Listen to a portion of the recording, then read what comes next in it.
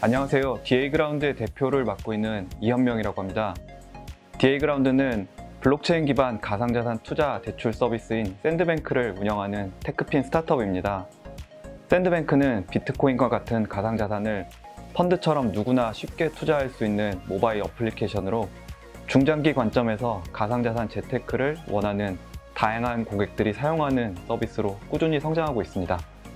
샌드뱅크는 크게 고객이 사용할 모바일 앱을 위한 B2C 서비스, 그리고 고객의 예치 자산을 운용하기 위해 다양한 자동화 알고리즘 trading 전략을 수행하는 trading bot으로 구성되어 있습니다. 수집하는 데이터 양의 크기에 자체 IDC를 구축하는 부분도 검토했지만 비용과 인력 문제가 있었고 또한 미래를 감안하여 초기 서버 사양을 결정하는 어려움과 향후 확장성 측면에서도 IDC를 구축하는 것이 결코 효율적인 선택이 될 수 없었습니다.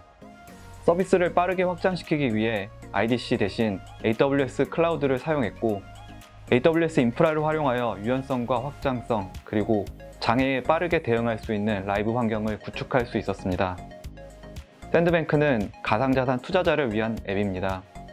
안전한 고객 자산의 운용이 가장 중요하기에 Shield, WAF를 통해 ISMS 인증을 염두하여 구조를 구축하였습니다.